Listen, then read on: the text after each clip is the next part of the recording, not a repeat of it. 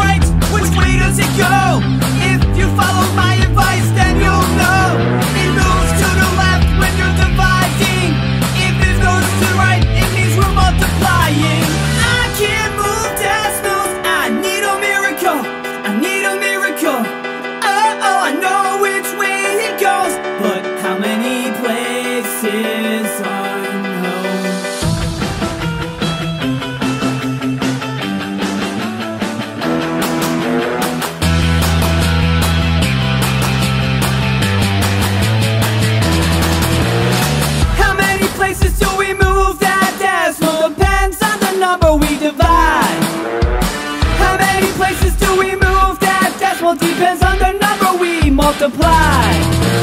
If you had to buy 100 stamps and each one cost you 43 cents, move that decimal to the right and you'll see that the answer's 43.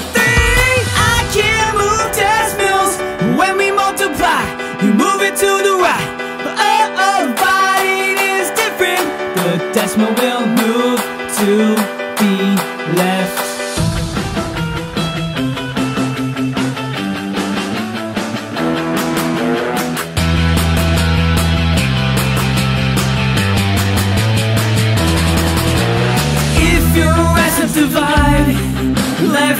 How the decimal slice. When you multiply, the decimal moves to the right. If you're as a divide, left is how the decimal slice.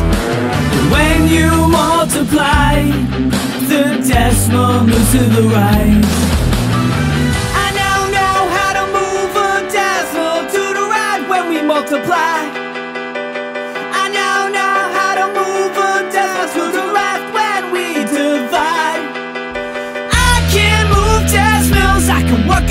Work a miracle.